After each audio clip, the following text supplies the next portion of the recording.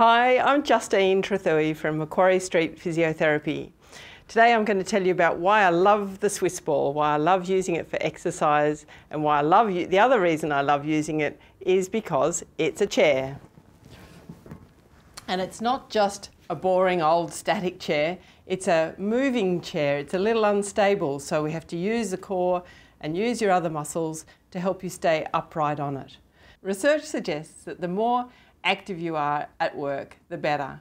So if you're sitting on an unstable ball using your muscles, that makes you just that little bit more active. The exercises that I love doing with the Swiss ball are low level core exercises. Okay, so this is hands to knees. So keeping your core on, on your back still, lift your hands overhead, feet away, good.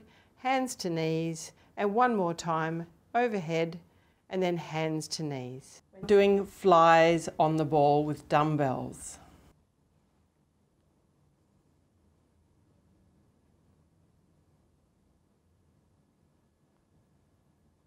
Lifting one foot, placing it on the floor.